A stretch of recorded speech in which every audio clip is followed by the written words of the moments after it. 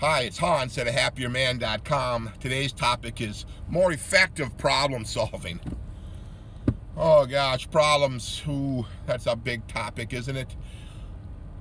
Uh, I had maybe one of the biggest things you want to do if you have problems is kind of better identify what the problem is.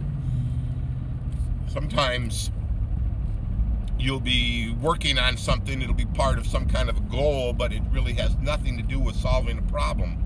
Because a problem will usually be making you so miserable that it kind of overwhelms your life. But you're kind of, because it's so overwhelming, you really don't even want to face it. And you'd rather focus on other things. Uh, for example, I, I, was in a bad marriage many years ago, and I detail uh, in my book, Leave Your Wife and Become a Happier Man with the three-step system available on the uh, happierman.com website. And, you know, the marriage was just uh, very frustrating. It was making me miserable. There was all kinds of problems going on associated with this. But the biggest one was just being there married to her.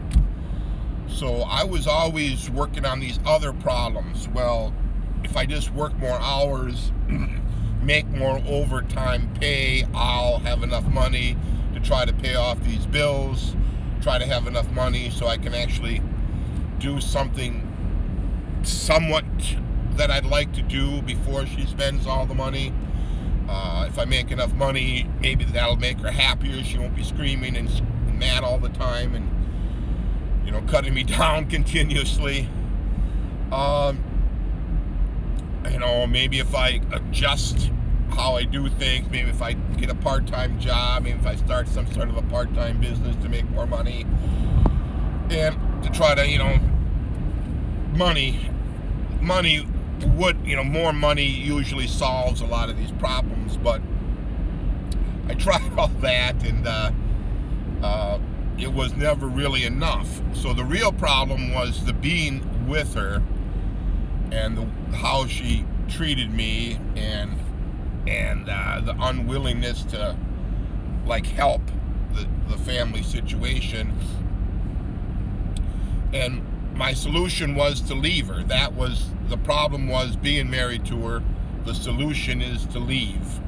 Now, of course, leaving your wife is a is just a massively difficult, painful, dramatic, chaos-filled mess. Yes. If you're if you have a bad marriage like I had, leaving is going to be just a nightmare. It's going to be just horrible, horrible, horrible. But at that time in my life, being married to her was so much worse than the pain and the suffering involved with the leaving that I decided to go through with it. And that's what I'm kind of getting at with this problem, effective problem solving is sometimes trying to solve a problem is going to be really, really hard. It's going to be really difficult. It's going to take enormous amounts of your time, effort, money. Uh, it's going to you're going to have to focus your entire life on solving a big problem. And that's what I did when I left my wife. I focused my entire life on solving this problem. And I solved it. I left her. I started to rebuild my life. Everything started to come into place. Now it took years. It took years. Don't get me wrong. It's not you know, you're not going to leave your wife today and everything's going to be hunky-dory tomorrow. No, no. If you got a if you got a verbally abusive wife, if you got a controlling wife, if you got a wife that thinks she owns you, it's not going to be better tomorrow. It's going to be probably be worse. There's going to be tremendous court battles and vindictiveness, and uh, she's going to use the children against you. And but this is your life we're talking about, if this is your problem, get the book, Leave Your Wife and Become a Happier Man with a Three-Step System. It'll save your life. And it, that gets to the heart of this effective problem-solving measure to to make if you have a big problem, you've got to focus on it and and and, and dwell on it, not with the idea of of uh, tolerating it, but with the idea of solving it and what would it take to not have this problem? What would be the steps you would take to not have the problem? If you're in a bad marriage, the steps to take are to leave her and start the divorce process. Hire an attorney and do all of that stuff. That's how you would solve the problem. And that will that doing that will create other problems down the road, but you solve the biggest problem, which is the effective problem solving technique. Number one is to solve the biggest problem first. Uh, in my case, how much, you know, paying off the mortgage, uh, doing the house renovations and the landscaping, and funding my 401k and worrying about the kids' education, those were all small problems compared to the big problem of the marriage itself and being with her. So once I solved that big problem of leaving her, all those other problems went away. I left the house. The mortgage is her responsibility. I uh, I left the house, no more remodeling, no more landscaping. Left the, the 401k, whatever, right? I'll rebuild later.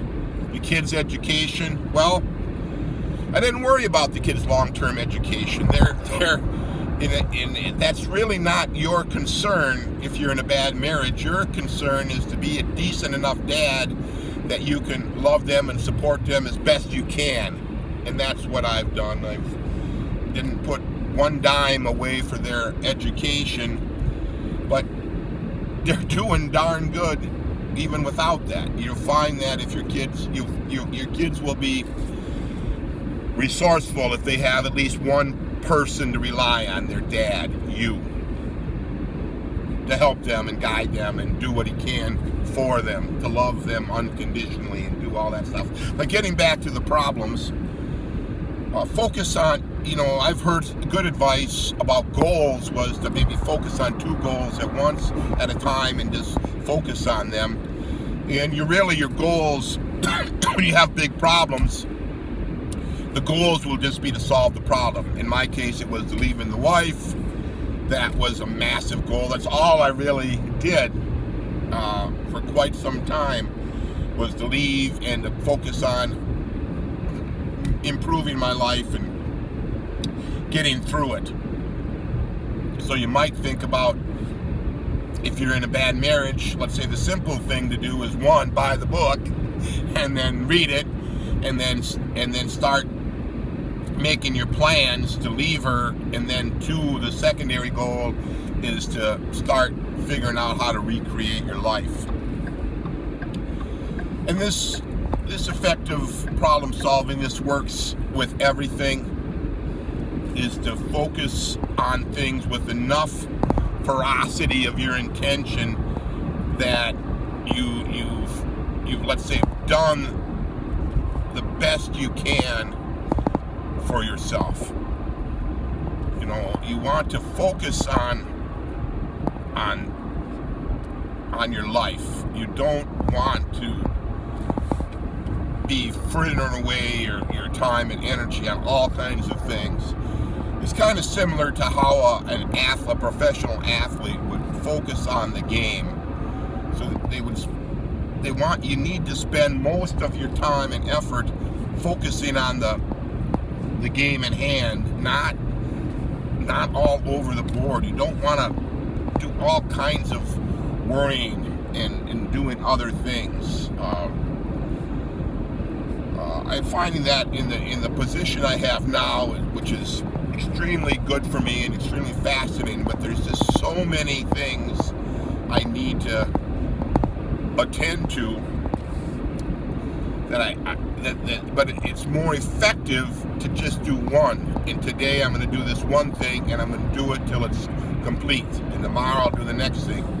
But you know that's not always how it works. But I, in my past jobs, I would always do it the way I described it, with the uh, focusing on one thing at a time and getting it as done as I could, giving it and then passing it along to somebody else and so, time, plenty of time, effort, and intent on one thing at a time till you get it as far along as you can. And you're not going to always, let's say, far along as you can. You're not always going to solve something just because you started this morning at 6 o'clock in the morning. You're not going to solve it by midnight today. No, it doesn't really work like that. But if you spend enough time during the day to, to work on something, give it your all, uh, and then it is for as much time as you have, and then you might have to put it aside and hit it again tomorrow. Uh, if I'm if you have a job, 8 to 5, and you're working on something in your spare time, well, yeah, you get up early and you work on it until you have to leave to work. You go to work, you focus on that, you come home and you, you jump back on, on your side project. Right? That's an effective way to, to move things forward. This is how effective people deal with problems. This is how effective people get things done. And you keep focusing on that until it's complete. And you put your whole mind in it. You know, don't uh, uh, don't be, let's say, watching TV while you're trying to write a uh, an article, right? Uh, if you're trying to write, if you're trying to focus on a math problem, you turn off You know, just do that, right? Don't, the multitasking, that really isn't that great of a, a thing for most people. Listening to music while you're trying to work, mm, I don't think that's a very good idea either. Trying to do two or three things at once, nah, I don't think so. I think you want to focus on it. Focus on it intently in the time you have. So yeah, those are some effective problem solving techniques I think you'll get a lot out of. Uh, the main one is to try to solve your biggest problem first. Uh, I was just, uh, I was kind of thinking of this idea because, let's say on the national, on the world scale, we have, there's a problem today, and then we won't get anywhere near solving it today, but then there'll be a new problem tomorrow, and it'll be like this this continually adding new problems to try to, but you without ever solving the old one. So like we're always talking, and then world scale, and always talking about a new problem, but there's all these old problems that are nowhere near solved. And if you follow that kind of world national model of never solving your old problems, you're going to have just as bad of success as the world governments do in solving these old uh, in solving problems because you you the effective way is to keep working at that problem till it's solved